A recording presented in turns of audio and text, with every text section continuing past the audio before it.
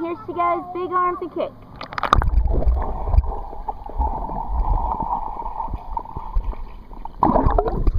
Good job. That was